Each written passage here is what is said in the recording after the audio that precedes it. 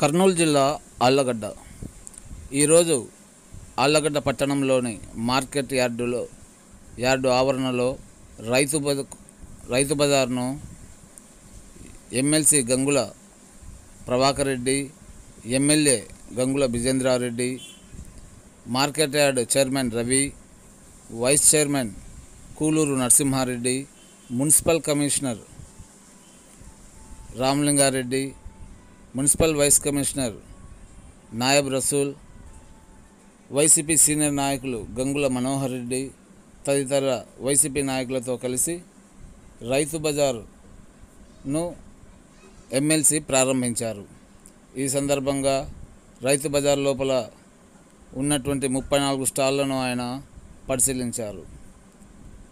ఈ సందర్భంగా ఎమ్మెల్సీ ప్రభాకర్ రెడ్డి మాట్లాడుతూ రైతులు దళారులను తమ పంటను అమ్ముకొని నష్టపోకుండా నేరుగా వారు పండించిన పంటను ఇక్కడి స్టాళ్ళలో ఉంచుకొని అమ్ముకోవచ్చని వైసీపీ ప్రభుత్వం రైతు ప్రభుత్వం అని రైతుల కోసం ఎన్నో కార్యక్రమాలు రూపొందిస్తోందని తెలియజేశారు.